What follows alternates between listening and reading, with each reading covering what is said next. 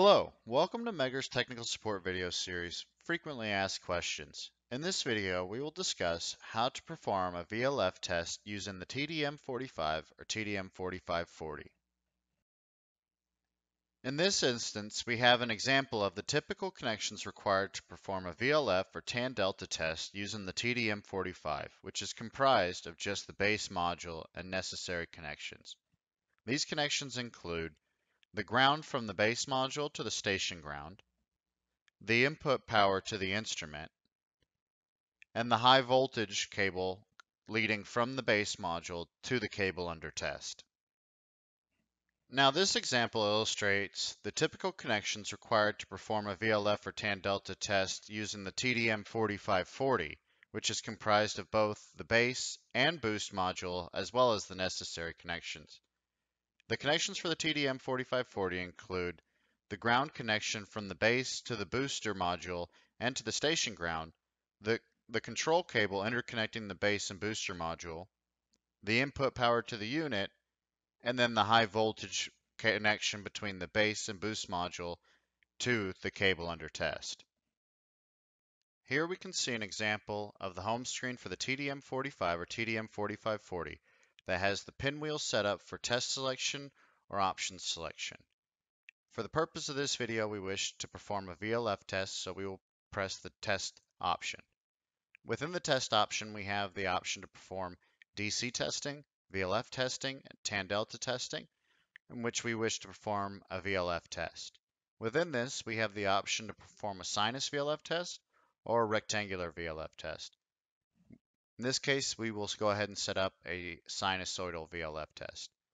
Here we have the phase selection, in which case we can, add, we can go ahead and select all phases to test or which phase we would like to test. In this case, we'll go ahead and test phase 1. Next, we'll select our nominal voltage or U naught. In this case, we'll leave it at 8.3 and then we can select our test factor. So what, what voltage would we like to perform the test at? In this case, we have it at 2 U naught. Of course, we can change this and go up to 3 U naught, 1, what have you. Um, this is completely customizable. So in this case, we'll, we will test at 2 U naught, which is 16.6 kV. You can change these by going into here, so such as voltage settings. Again, changing your factor. You can change the frequency. In auto, we would test at 0.1 hertz. Now you can go into 0.01 and ranging all the way up to 0.1 to test. Again, we can go back to auto and leave it there. We can set up our duration for this demo. I will go ahead and leave it at one minute. And then we can set our test parameters such as if we want burning um, or if we want to change our voltage input. When we're ready to start the test, we can come over to the start pie chart here click our start.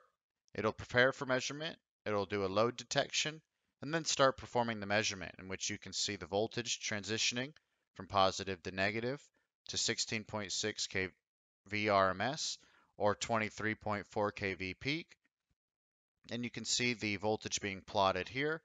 We have our capacitance measurement, our resistance measurement, our frequency, as well as the time duration, the voltage, and our current measurement.